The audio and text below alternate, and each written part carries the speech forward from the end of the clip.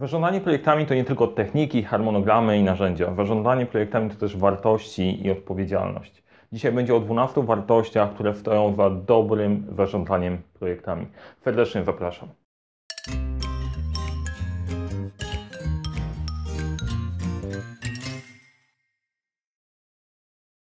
Cześć, nazywam się Mariusz Kapufta. Uczę, jak rozpoczynać i kończyć sukcesem projekty w świecie, w którym brakuje czasu, brakuje zasobów, za to nigdy nie brakuje problemów i pomagam te problemy rozwiązywać, dopasowując narzędzia i metody do indywidualnych potrzeb.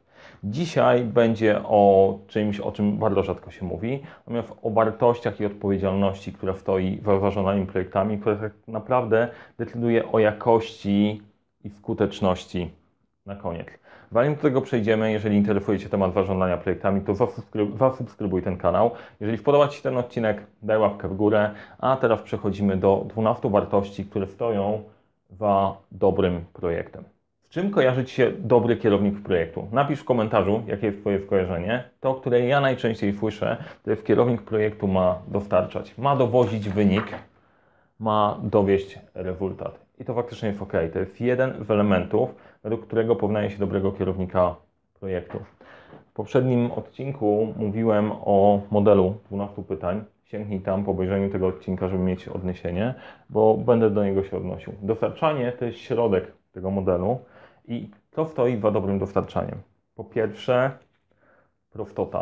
Szukanie prostych rozwiązań, które pozwolą dostarczyć jak najprostsze rozwiązanie, które spełni oczekiwania.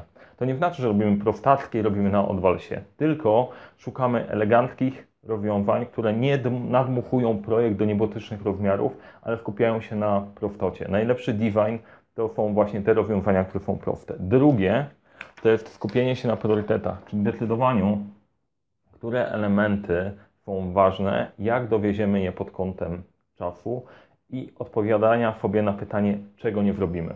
To jest najprawdopodobniej jedno z najtrudniejszych pytań w dostarczaniu, bo jesteśmy przyzwyczajeni do tego, że ma być wszystko. Dobry kierownik projektu mówi, tego się zrobić nie da w tym budżecie, który mamy i w tym czasie. Możliwe są następujące opcje. Czego nie zrobisz? Kolejne, bardzo, bardzo ważne, to dbanie o efektywność. Projektów w biznesie nie robimy sobie od tak, żeby się działy. To jest po prostu hobby. Robimy je po to, żeby na koniec przyniosły konkretny rezultat biznesowy i dały się policzyć. No i teraz pytanie, czy Ty wiesz, jaką efektywność przynosi Twój projekt? Jakie są koszty, jakie są zwroty? Czy zarządzamy tymi kosztami? Czy w jakiś sposób pilnujesz tego elementu? To jest kolejna rzecz, pilnowanie kosztu.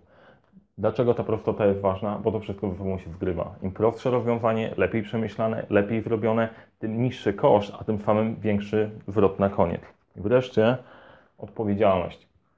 Branie na poważnie zobowiązań wobec projektu. Dobry kierownik projektu bierze na siebie całość i mówi: Dobra, ja sprawię, że to się zadzieje i rozwiążę ten temat. To też jest odpowiedzialność członków zespołu wobec projektu, gdzie ludzie wyrobią robotę od początku do końca, a nie rzucą ją i dadzą ci coś, co nie do końca spełnia oczekiwania. Dlaczego to ważne i dlaczego mówię o wartościach? Bo jeżeli wyznajesz dokładnie te same wartości w podejściu projektowym, to masz szansę dobrze je dowieść. Jeżeli zespół różnie na nie patrzy, to bardzo często dochodzi do konfliktów, choćby pojęte odpowiedzialnością a efektywnością, gdzie ludzie chcą czują się odpowiedzialni za dobrej jakości produkt chcą zrobić najlepszy we wszechświecie, ale budżet na to nie pozwala. I trzeba szukać jakichś takich rozwiązań, żeby ludzie nadal byli w stanie podpisać się pod rozwiązaniem, nie robili na odwalsie, ale żeby wmieściło się to w tych ograniczeniach, w których jesteśmy. Drugi element, który jest istotny dla kierownika projektu, to zarządzanie.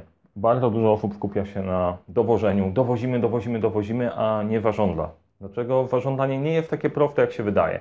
Każdemu się wydaje, że skończenie zarządzania marketingu to jest kierunek dla tych, którzy nie do końca kumają. Dobre zarządzanie wymaga sporej wiedzy. I mówię to nie dlatego, że ja skończyłem ten kierunek. Zarządzanie to w projektach to rozsądek, czyli wyszukiwanie zagrożeń i przygotowywanie się na to, żeby te zagrożenia za bardzo nam krzywdy nie wrobiły. Kolejna wartość to kreatywność poszukiwaniu szans, a co może Ci szczególnie w projekcie pomóc? To jest e, wyjście poza strefę komfortu i y, sprawdź, na ile ty szukasz szans w projekcie. To bardzo rzadka cecha. Bardzo rzadka cecha szukania sposobów, lepszych możliwości, e, zaangażowania innych osób, myślenia out of the box. Kreatywność jest clue. Trzecia ważny element to jest dbanie o rytm. Przyzwyczajenie zespołu do tego, żeby pracował w pewien nawykowy sposób. Co poniedziałek się spotykamy, sprawdzamy. Co poniedziałek się spotykamy i sprawdzamy. Ten rytm powoduje, że zespół zaczyna uczyć się nawyków. To, co jest wartością, to jest to, że niezależnie jak się czujesz danego dnia, robisz to, co trzeba zrobić. I ostatnia wartość w zarządzaniu to dyscyplina, pilnowanie zmian. Jeżeli ustalimy, że idziemy w tym kierunku, to idziemy w tym kierunku, niezależnie co się dzieje po drodze. To jest jeden z elementów dzisiejszego świata, który bardzo często odrywa projekty od ich sukcesu, dlatego że cały czas zaczynamy go zmieniać, poprawiać, coś się na koniec wysypuje. Dyscyplina sprawia, że jesteś w stanie to dowieść.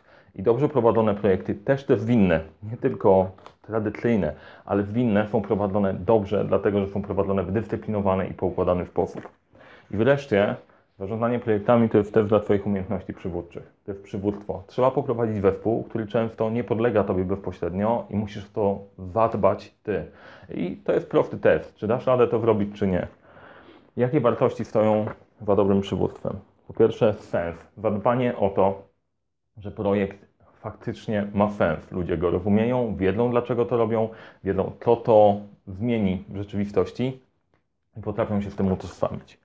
Kolejne to wizja, określenie jasnej wizji końca, gdzie my w ogóle zmierzamy i jak świat się zmieni po zakończeniu naszego projektu.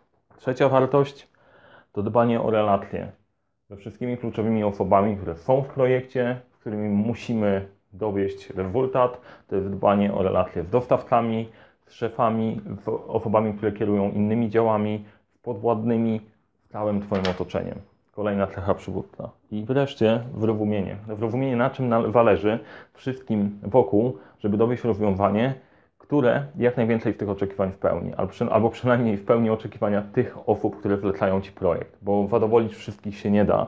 E, dlatego trzeba będzie się przystawić na to, że robienie projektów proste nie jest. Robienie projektów zmienia status quo, naruszasz interesy różnych osób, angażujesz je do swojego projektu. I tak jak dobre techniki są w ogóle elementem wejścia do gry, musisz to opanować, to te wartości pozwalają Ci dowieść ten projekt do końca. Mam nadzieję, że to Ci się podobało. Mam nadzieję, że w tych wartościach się odnajdujesz. Te rzeczy chodzą ze sobą razem. E, jeżeli to będziesz w stanie ze sobą połączyć, jeżeli zadbasz o dostarczanie, zarządzanie i przywództwo, to Twoje projekty naprawdę wejdą na całkiem inny poziom jakości. Nie gwarantuję 100% sukcesu, bo nikt Ci tego nie jest w stanie zagwarantować.